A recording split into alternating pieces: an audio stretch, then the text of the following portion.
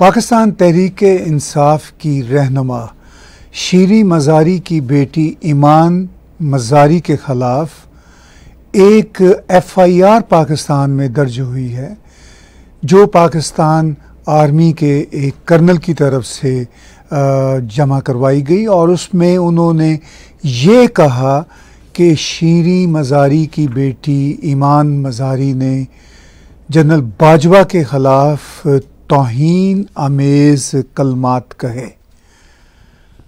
शीरी मज़ारी की जब गिरफ्तारी हुई थी, उसके बाद ईमान मज़ारी ने जर्नलिस्ट असद तूर को एक मुख्तसर इंटरव्यू देते हुए ये बात ज़रूर कही, जो हम आपके साथ शेयर करते हैं।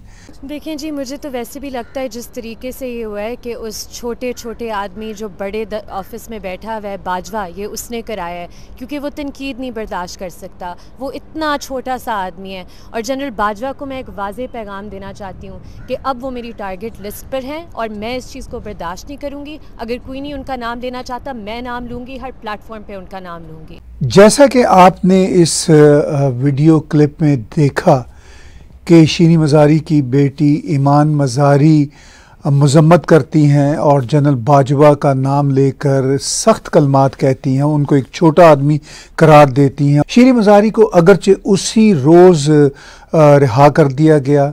और शीरी मज़ारी के बारे आम तासर यही है कि वो इस्टेबलिशमेंट के हलकों में बहुत चहेती जानी जाती हैं और उनकी बेटी ईमान मज़ारी को अपनी माँ से इस मामले में इख्तलाफ भी है।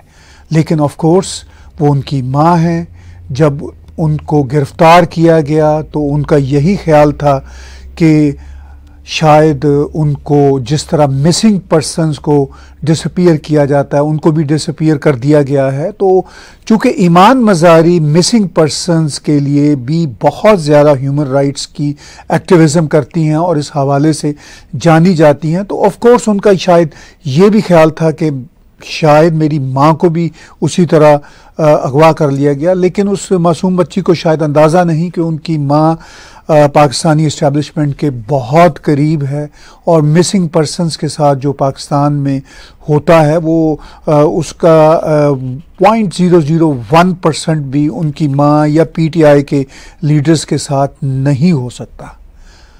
अब जिन बुनियादों पर ईमान मज़ारी के ख़िलाफ़ एफ़आईआर दर्ज हुई है अगर हम उन्हीं बुनियादों को देखें तो पीटीआई के हज़ारों लोग सोशल मीडिया पर जनरल बाजवा और आर्मी के दूसरे जर्नल्स को बेहद बुरा भला कह रहे होते हैं और बहुत ही ज़्यादा गैर महजब ज़ुबान का इस्तेमाल भी कर रहे होते हैं।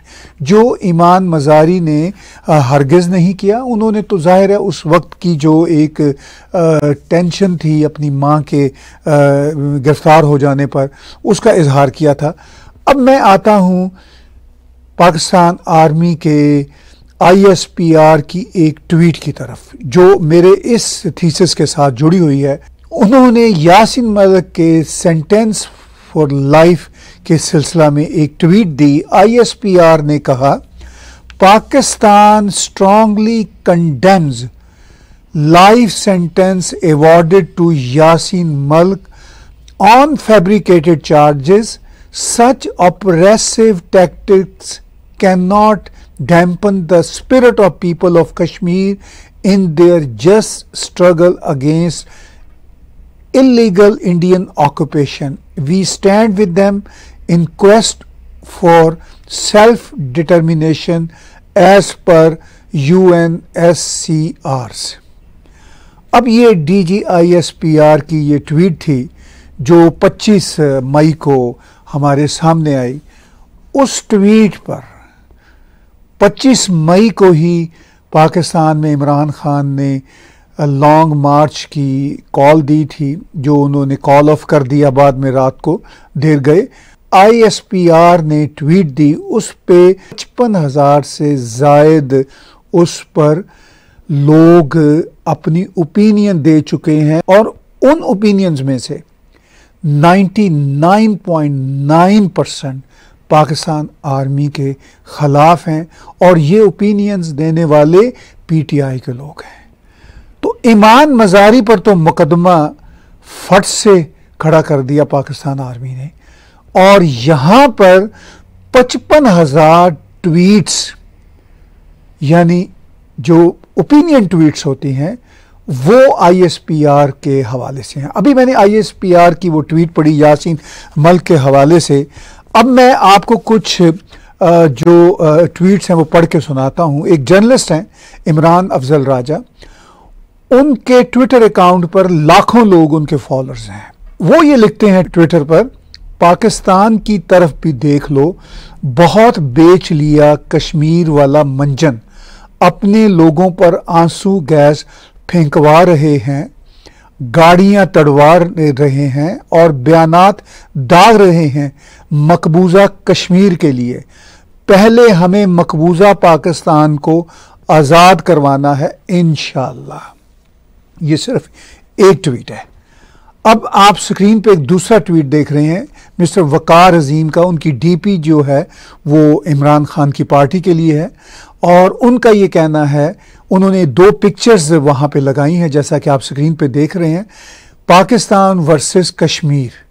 और उन्होंने ऊपर एक लाइन लिखी है, Pakistani force versus Indian force इस तस्वीर में आप देख सकते हैं, उनके मुताबिक पाकिस्तान में इतना तशद हो रहा है कि लोग खून से नहाए हुए हैं और दूसरी तरफ़ स्टोन पेल्टिंग हो रही है और पुलिस कश्मीर में वहाँ पे शेलिंग कर रही है। ये उनका पॉइंट व्यू है, मगर अपने पॉइंट ऑफ़ व्यू में पीटीआई के ये सारे लोग जो कश्मीर के बहुत ही पंजाबी में जिसको कहते हैं मामे बने हुए हैं, जो चैंपियंस हैं वो ये लैंग्वेज लिख रहे हैं। फिफ्टी फाइव थाउज़ेंड ओपिनियंस हैं। एक ईमान मजारी की स्टेटमेंट पर पाकिस्तान आर्मी ने मुकदमा खड़ा कर दिया। लेकिन ये पचपन हज़ार ट्वीट जो हैं, वो तो सिर्फ़ एक आईएसपीआर की ट्वीट के जवाब में है। और बड़े बड़े नामी ग्रामी लोग बातें कर रहे हैं। जर्नलिस्ट बातें कर रहे हैं जिनके फॉलोअर्स लाखों में हैं कुछ के तो मिलियंस में हैं वो ये बातें कर रहे हैं। अब एक और आ, हज़ारों फॉलोअर्स का एक अकाउंट है गो गुलाम गो के नाम से। अब वो लिखते हैं कि भारत की मजम्मत की जा रही है और अपने मुल्क के शहरियों का कत्ल आम किया जा रहा है। यासीन मल्क की तरह ये शहरी भी अमरीकी गुलामों के कब्ज़े से आज़ादी की जद्दोजहद हासिल करने निकला था। यासीन मल्क तो अब भी ज़िंदा है, लेकिन उसे आप और आपके चहेते हुक्मरानों ने मार डाला। हकीकी आज़ादी मार्च हैश टैग ये एक है। अब एक पिक्चर जानबाज के नाम से एक अकाउंट है, जो काफ़ी एक्टिव है पीटीआई का। वो एक पिक्चर लगाते हैं वतन के गद्दार के नाम से। और ऊपर कैप्शन लिखते हैं, ताकत के नशे में फिरौन बने हैं। और नीचे पिक्चर में चार जर्नलों की पिक्चर है। जनरल बाजवा की, जनरल नदीम की, जनरल अजहर अब्बास की, जनरल शमशाद की। अब ये बयानिया चल रहा है वहाँ पर। और अगर ईमान मजारी अपनी माँ की गिरफ्तारी के हवाले से उस वक्त नहीं वो जानती थी, उनको गिरफ़्तार किया गया या उनको एबडक्ट किया गया, वो उस हवाले से बात करती हैं तो उनके खिलाफ कर्नल एफआईआर ऑफिशियली दर्ज कराता है। और ये सारे के सारे लोग, ये हज़ारों की तादाद में सिर्फ़ ट्विटर पे ट्वीट्स दे रहे हैं, बल्कि लाखों की तादाद में।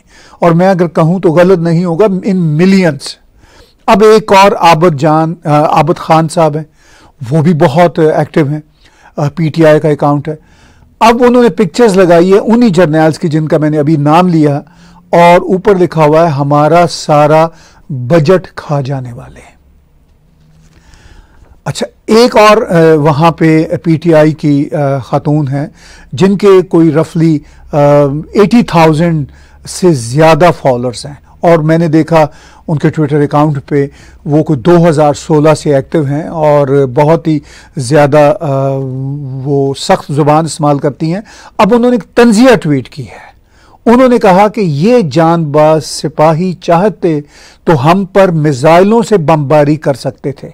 मगर सिर्फ़ शैलिंग और रबर गन का इस्तेमाल करने पर हम पाक फौज का शुक्रिया अदा करते हैं। इम्पोर्टेड हुकूमत नामंजूर, हकीकी आज़ादी मार्च हैश टैग दोनों के साथ। अब ये जो खातून है मिस फरजाना, ये मुसलसल इस तरह की ट्वीट दे रही हैं। इसी तरह एक पिक्चर इस सोशल मीडिया पे तरीके इंसाफ वालों ने बहुत वायरल की हुई है। उस पिक्चर में पाकिस्तानी अवाम एक छोटे से कार्टून की सूरत में ज़मीन पर लेटे हुए हैं और उनके ऊपर एक फ़ौजी खड़ा है और वो अवाम कह रही है, दुख से तेरे कल के लिए हमने अपना आज कुर्बान कर दिया। एक और ट्वीट अदनान अरशद साहब की है। वो ये लिखते हैं कि सबसे ज़्यादा नफरत फौज के हिस्से में आएगी। ये अब उल्टे भी लटक जाएँ। उनके मुकद्दर में सवाए नफरत के अब कुछ नहीं।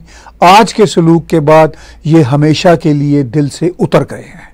तो मिस्टर अरशद ने ये बात 25 मई के लॉन्ग मार्च के हवाले से जो वहाँ पे वायलेंस हुआ, जो आग लगाई पीटीआई पीटीआई वालों ने, और उसके बाद ज़ाहिर है पुलिस की भी शैलिंग हुई और रेंजर्स की भी शैलिंग हुई तो ये सारा रिएक्शन वहाँ पे आ रहा है। मगर ये सारी बातें वो आईएसपीआर की उस ट्वीट जो यासीन मल्क के हवाले से है, वो कर रहे हैं। अभी मैंने गो गुलाम गो की एक ट्वीट पढ़ी, एक और ट्वीट पढ़ता हूँ उन्हीं की। उन्होंने कहा कि भारत की मजम्मत की जा रही है। और अपने मुल्क के शहरियों का कत्लेआम किया जा रहा है। यासिन मल्क की तरह ये शहरी भी अमरीकी गुलामों के कब्जे से आज़ादी की जद्दोजहद हासिल करने निकला था। यासिन मल्क तो अब भी ज़िंदा है, लेकिन उसे आप और आपके चहेते हुक्मरानों ने मार डाला। हैश टैग हकीकी आज़ादी मार्च। गो गुलाम, गो के भी हज़ारों फॉलोअर्स हैं इस अकाउंट के भी ट्विटर पे। एक और बहुत ही सीनियर सहाफ़ी जिनके तीन मिलियन से ज़्यादा फॉलोअर्स हैं जो इमरान खान के हम नाम भी हैं, उन्होंने इमरान खान की एक पिक्चर लगाई है और बड़ी इंटरेस्टिंग ऊपर कैप्शन दी गई है। उन्होंने कहा है कि इमरान खान एटम बम से भी बड़ा है। उन्होंने ये लिखा है, दुनिया हमारे एटम बम से नहीं, बल्कि इस शख्स से डरती है। वक्त ये साबित कर रहा है। पीटीआई के एक और ट्विटर अकाउंट ने एक कश्मीर के मसला पे लिखा, उन्होंने फौज को मुखातब करते हुए कहा कि किस मुँह से कश्मीर का नाम ले रहे हो? वतन फरोशो, तुमने पाकिस्तान को ही कश्मीर बना दिया है। कोट अनकोट, वो लिखते हैं, मैं नहीं कहता, आखिर में वो लिखते हैं, बकवास बंद करो। ये पीटीआई के इंतहाई सरगर्म हज़ारों लोगों में से चंद के मैं सिर्फ़ ट्वीट आपके साथ पढ़ रहा हूँ और आप अंदाज़ा कर सकते हैं कि इनके खिलाफ किसी किस्म का कोई एक्शन नहीं होगा। वो बेचारी, ईमान, मजारी, जो मिसिंग पर्सनस के लिए आवाज़ उठाती है, उसने एक सख्त बात कह दी। तो उसके लिए फौज ने एफआईआर जमा करवा दी है। तो इसका क्या मतलब है? कि ये जो सिलेक्टिव सारी की सारी न्यूट्रलिटी है, ये सिर्फ़ और सिर्फ़ जो क्रिटिक्स हैं उनके लिए है, बाकी लाडला और लाडले की फैमिली और लाडले का पूरे का पूरा भारत में जिसको कहते हैं परिवार और साथियों का जो था, वो सब फ्री है। मैं उनके ट्वीट पढ़ रहा हूँ, कुछ और पढ़ता हूँ। एक और लाडले के सिपाही हैं, कामरान शबीर। उन्होंने भी डीपी अपनी वही लगाई हुई है और मैंने उनका भी ट्विटर अकाउंट देखा, काफ़ी एक्टिव है।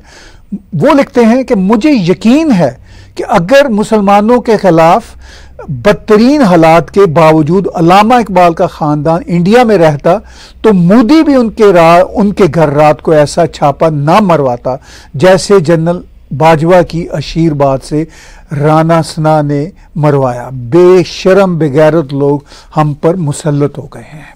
ये जनरल बाजवा की ये तारीफ़ कर रहे हैं। अच्छा एक और मोहम्मद नवीद हैं।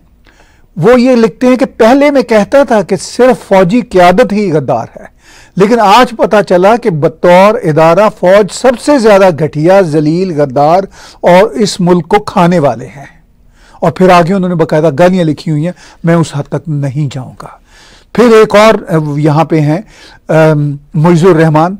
वो ये लिखते हैं कि शर्म नहीं आती ट्वीट करते हुए, यानी जो आईएसपीआर ने कश्मीर के यासीन मल्क पर ट्वीट की उस पर वो लिखते हैं, शर्म नहीं आती, शर्म नहीं आई ट्वीट करते हुए you did exactly what India has been doing with the people of Kashmir and Yasin Malik अब इसी के साथ इमरान खान के एक और हम नाम इमरान, जो ट्विटर पे इनके बहुत बड़े जयाले हैं, वो अपनी ट्वीट का आगाज़ ही गाली से करते हैं, मैं उसको स्किप करता हूँ, लेकिन वो आगे ये करते हैं, हमें असला उठाने की इजाज़त दो, खुदा की कसम तुम्हारी बहादुरी तरानों से भी गायब कर देंगे। सालों हमारा ही खाते और हम ही को काटने को पड़ गए। ये है पूरे का पूरा नरेटिव और ये सब जायज़ है। ये इस पे शायद आईएसपीआर का कोई कर्नल, कोई ब्रिगेडियर, कोई एक्शन नहीं लेगा, क्योंकि ये इन सब के चहेते हैं, इन सब के ये लाडले हैं। अब मैं कुछ और ट्वीट पढ़ता हूँ। जैसे ही शीनी मजारी की बेटी के ख़िलाफ़ एफआईआर की खबर आई तो उस पर अब्दुलसलाम नामी ट्विटर पे पीटीआई के एक साहब हैं। तो वो वहाँ पे जाके लिखते हैं, शीरी मजारी की बेटी ईमान मजारी की जनरल बाजवा के खिलाफ गलत अल्फाज इस्तेमाल करने पे आर्मी ने एफआईआर दर्ज करवा दी। हमारी तरफ़ से उस लड़की को फांसी पे चढ़ा दो। लेकिन मरियम, उसका बाप और बाकियों के खिलाफ एफआईआर कब दर्ज होगी? अब कोई मिस्टर अब्दुल सलाम और ये पीटीआई के लोगों से पूछे जो इस तरह की हरकतें करते फिर रहे हैं, वो अब ईमान मजारी के बारे में कह रहे हैं कि उसको बेशक फांसी पे आप चढ़ा दें। क्यों कह रहे हैं? क्योंकि ईमान ने हमेशा अपनी माँ के साथ इख्तलाफ किया। माँ ने हमेशा मिसिंग पर्सन की आवाज़ उठाई तो उनको वो भी ये पसंद नहीं अब्दुलसलाम को। वो कहते हैं, उनको तो फांसी चढ़ा दें। मरियम को, उसके बाप को कब फांसी चढ़ाएँगे? वो ये सवाल पूछते हैं। अब उनसे ये पूछा जाए कि उनके लोग जिस तरह की ज़ुबान इस्तेमाल कर रहे हैं, ये मरियम और उनके बाप ने तो अशरशीर भी बात नहीं की थी, वो तो सिर्फ़ एक सियासी इख्तलाफ की बात करते थे। अब ये सूरत हाल है पाकिस्तान में सियासी मंजरनामे की। D G I S P R Kashmir के हवाले से यासीन मलिक की गिरफ्तारी को कंडेम करने की खातर एक ट्वीट देते हैं और पचपन हज़ार से जायद अब तक एज ऑफ़ नाउ पीटीआई के लोगों ने ट्वीट्स दी हैं उसके खिलाफ। और मज़े की बात यह है कि वो जो ट्वीट है आईएसपीआर की वो सिर्फ़ 16,000 लोगों ने अब तक रीट्वीट किया है। लेकिन पचपन हज़ार नहीं। यानी सोलह हज़ार ने रीट्वीट किया और 55,000 ने जवाबी रीट्वीट्स किए हैं। ये है सूरत हाल। अब मैंने पीछे आ, मिस फरजाना का एक ट्वीट पढ़ा था एक और पढ़ता हूँ वो बहुत एक्टिव है। वो लिखती हैं अब तो कश्मीर फतह करने की भड़क मारने की बजाय मजम्मत मजम्मत का खेल शुरू कर दिया। कभी फौजें भी मजम्मत करती हैं फौजें मजाहमत करती हैं। ये फरजाना साहबा ने इनको चैलेंज किया है। फिर एक और एस एम बुखारी हैं। उन्होंने लिखा कि आपकी मजम्मत से क्या होगा? कायद आज़म के अहकाम की हुक्म अदूली करके अपनी शाहरक को आज़ाद न करवा सके। सत्तर साल से कश्मीर पर आपने माल बनाया, लेकिन मिला कुछ नहीं। अयूब खान की कब्र का इल्म नहीं। General Ashraf Kayani, Australia. General Raheel Sharif, Saudi Arab. Musharraf Dubai retirement के बाद आपको पाक सरजमीन भी नसीब नहीं होती। अब ये है नरेटिव पीटीआई का। इसमें बहुत सारी बातें तलख भी हैं और कुछ कुछ सच्ची भी हैं और बहुत सारी बातों में वो जज्बाती हैं और पीटीआई वाले भी अनफॉर्चुनेटली चूँकि उन पर जब ये मुश्किल वक्त आया तो वो एकदम से खिलाफ हो गए। हालाँकि उनका भी यही लैंग्वेज का मामला है जो आर्मी का है, वो तो हमेशा आर्मी के साथ ऑन बोर्ड हैं। जो हकायक आज वो बयान कर रहे हैं पीटीआई वाले, ये हकायक तो पचहत्तर साल से हैं। उनमें से कई कह रहे हैं कि हमें आज समझ आई। मैं दावे से कहता हूँ, इमरान खान को पाकिस्तान की आर्मी फिर इकतदार में ले आए, ये फिर अपनी ट्वीटें बदल लेंगे। खैर, एक और साहब हैं, और ये बड़ी इंपॉर्टेंट दो ट्वीट्स हैं। एक साहब है शाहिद भट्टी पीटीआई के। वो लिखते हैं कि मैं वो शख्स हूँ जिसने 18-18 घंटे फिफ्थ जनरेशन वॉर को दिए हैं। पीटीएम हो या साठ फोरम, कोई भी फौज मुखालिफ लफज मुँह से निकालता तो एक लम्हा देर किए बगैर सोशल मीडिया पर फौज के दिफा में सीसा पिलाई दीवार बन जाता। मुझे उन सब का बदला नहीं चाहिए, बस मैं चाहता हूँ मेरा मान बचा लें। यह है शाहिद भट्टी का। यानी एतराफ़ कर रहे हैं कि वो जो फिफ्थ जनरेशन वॉर है, उसमें 18 18 घंटे ये काम करते थे। यानी फौज के बगल बच्चे आज फौज को गालियाँ निकाल रहे हैं। एक और इसी तरह के फौज के बगल बच्चे ने ट्वीट की है। मैं ये आपको स्क्रीन पर दिखाता हूँ। आप लोगों ने सारी पीटीआई टीमों को इस्तेमाल किया कि वो फिफ्थ जनरेशन की जंग आपकी तरफ़ से लड़ें। अपने अकाउंट्स सस्पेंड करवाए टाइम खर्च किया, लेकिन आज ये लोग पीछे क्यों हट गए हैं? जरा सोचिए। यानी अब ये भी इतराफ हो रहा है कि जितनी फिफ्थ जनरेशन की ये ट्रोल्स ट्वीट्स थी, ये सारे यही लोग करते थे। ये अपनी ट्वीट्स में खुद लिख रहे हैं। और हमने इनके स्क्रीन शॉट महफूज कर लिए हैं। ये अब डिलीट भी कर दें तो कहीं जाने वाले नहीं हैं। तो अब यहाँ पे एक रोजीना खान साहिबा लिखती हैं, काफ़ी एक्टिव हैं पीटीआई की। तो वो ये लिखती हैं कि आप तो अपनी आवाम के साथ नहीं खड़े। कश्मीरियों के साथ क्या खड़े होंगे, उनसे झूठे वादे ना करें। एक और साहब हैं ए आर खान साहब। वो लिखते हैं, कभी पाकिस्तानियों पर होने वाले जुल्म की भी मजम्मत कर दो कब तक कौम को बेवकूफ़ बनाओगे। एक मेजर रिटायर्ड हैं सजाद साहब, जो बड़े एक्टिव हैं सोशल मीडिया पे। उनको मैंने कई दफ़ा देखा, उन्होंने पच्चीस हज़ार गोलियों के अंबार की एक पिक्चर लगाई है और ये लिखा है ओवर ट्वेंटी फाइव के shells fired by occupied forces of Islamabad वो जो भारत के कश्मीर को मकबूजा कश्मीर कह रहे हैं, वो आजकल पाकिस्तान को ऑक्युपाइड पाकिस्तान, मकबूजा पाकिस्तान पीटीआई के लोग ही कह रहे हैं।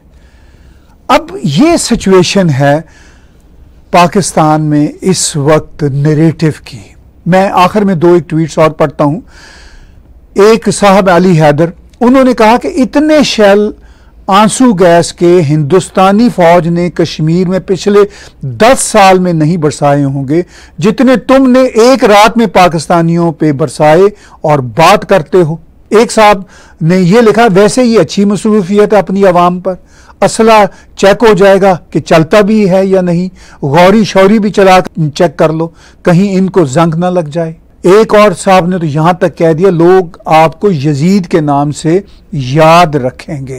अब मैं आखिर में आ, कुछ तस्वीरें आपको दिखाता हूँ। एक बच्ची की तस्वीर है स्क्रीन पे आप देखेंगे। वो बच्ची ने तरीके इंसाफ की हैट पहनी हुई है और हाथ में एक बैनर पकड़ा हुआ उस बैनर पे लिखा हुआ है उन्होंने एक अड्डा मांगा था इन्होंने यानी पाकिस्तान आर्मी ने सारा जीएचक्यू ही हवाले कर दिया। ये वो ओपन जो है, चपटे लगा रहे हैं।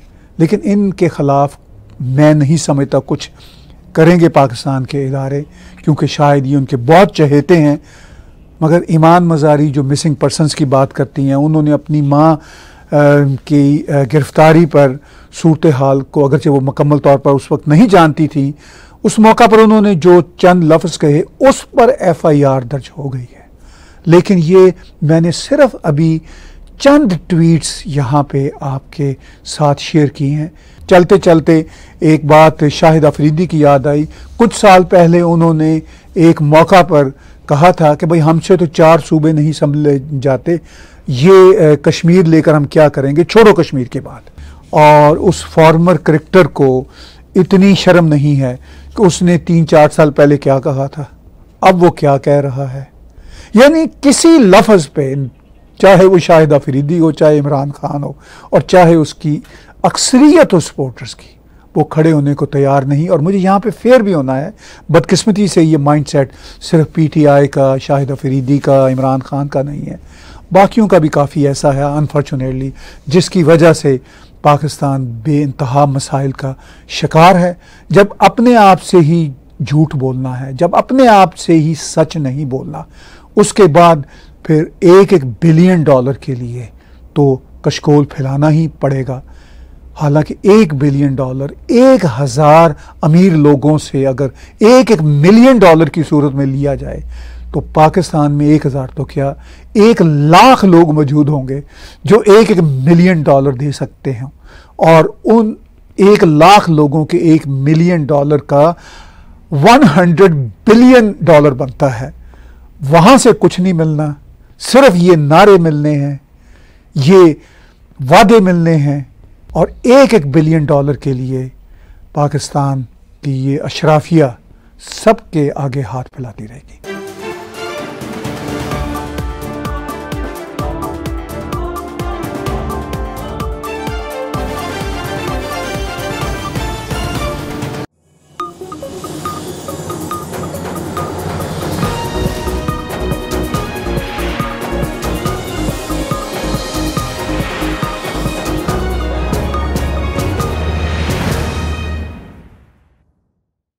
Subscribe TAG TV YouTube channel and press the notification button.